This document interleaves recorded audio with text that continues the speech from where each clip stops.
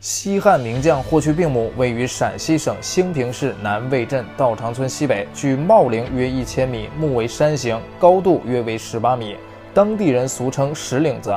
旁边就是卫青墓。霍去病实在是太有名了，他不仅年轻有为，而且武艺高强。他十八岁的时候就随着舅舅卫青开始出征匈奴。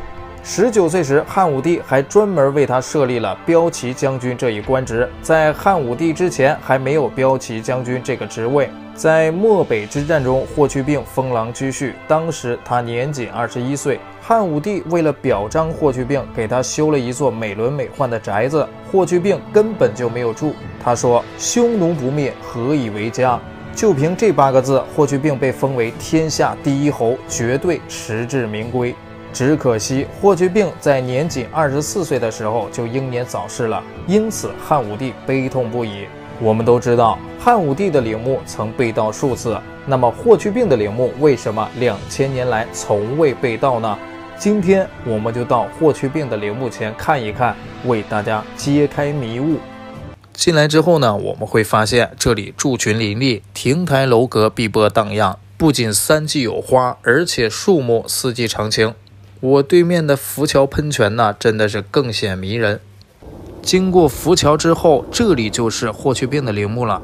因为他在年仅二十四岁的时候就英年早逝，当时汉武帝悲痛不已，因此啊，汉武帝调来了边境五郡的铁甲军，从长安到茂陵排列成阵，用安葬君王的礼仪，将霍去病的灵柩从京城一直运到了这里。紧接着，汉武帝又下令在霍去病墓前的神道两侧树立了卧马、跃马、石人、伏虎等石像，以此来祭奠这位青年英雄。这座墓距今已经过去两千多年了，我们在历史文献中也确实没有找到有关霍去病墓被盗的记载，这也就说明了霍去病墓成功的逃脱了盗墓贼的黑手。但是呢，这里距离汉武帝的陵墓仅一千米。难道是因为幸运才没有被盗吗？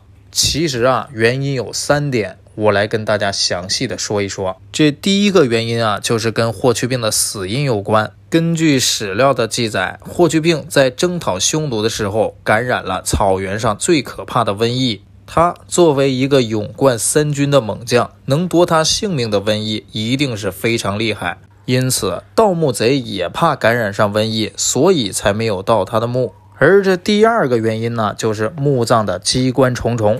当地人把这里俗称为石岭子。霍去病陵墓为何叫石岭子？这道理很简单，因为在覆土之下全是乱石，这种乱石在盗墓贼挖陵开棺时就会引起乱石的崩塌。想要盗掘这样的一座墓，其风险远远大于收益，因此也就很少有人打霍去病墓的主意了。不过话又说回来，汉武帝的陵墓更是机关重重，盗墓贼不是照样把墓给盗了吗？就算是霍去病陵墓有瘟疫，盗墓贼也可以等待瘟疫消失了之后再进行盗掘呀。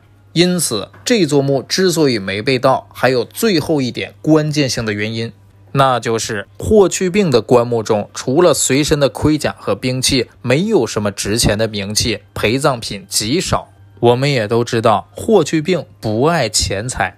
再说，来茂陵盗墓的一些盗墓贼们，全都是冲着汉武帝的陵墓而来。对于霍去病的陵墓，他们大多不感兴趣。因此啊，综合以上三点原因，霍去病的陵墓这才得以保全。好了，这个视频就拍到这里，咱们下个视频继续探索古墓。